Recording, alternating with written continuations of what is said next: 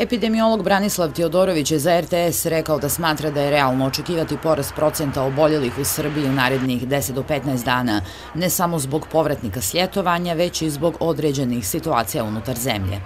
Mislim da je realno očekivati da epidemiološka procena govori o tome da ćemo imati ipak neko povećanje u narednih 15 do 20 dana, da će ono zavisno biti ne samo od ovih koji se vraćaju sa letovanja iz okolnih zemalja gdje je bio skok oboljevanja i pozitivnih, svakako će to učestovati, ali imamo i unutar Srbije situacije u određenim područjima, gradovima, ponašanjima koja su, da tako kažem, prisutna i odgovornom ili neodgovornom ponašanju u smislu sprovođenja svih mera.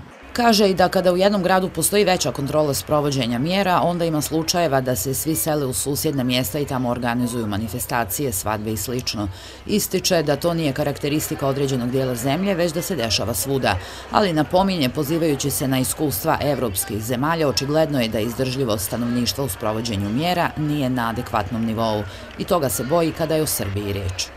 Iako je ovaj rezultat da smo mi u ovom delu Evrope možda najbolji i naj da tako kažemo, najmirniju situaciju imamo, što ne treba da nas mnogo vodi u optimističke prognoze, nego samo u veći oprez, je da ipak ovi ljudi koji su i u banjama, na planinama, u jezerima letovali kod nas, oni koji se po kafićima, restoranima ili splavovima okupljaju, U posljednja 24 časa u Hrvatskoj su zabilježena još 234 zaražena virusom korona, a šestoro ljudi je preminulo.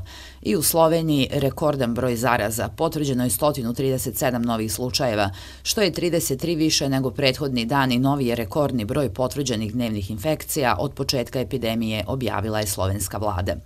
Do sada je najveći broj novih zaraza u jednom danu bio zabilježen 15. septembra, kada je potvrđeno 123 novo oboljelih.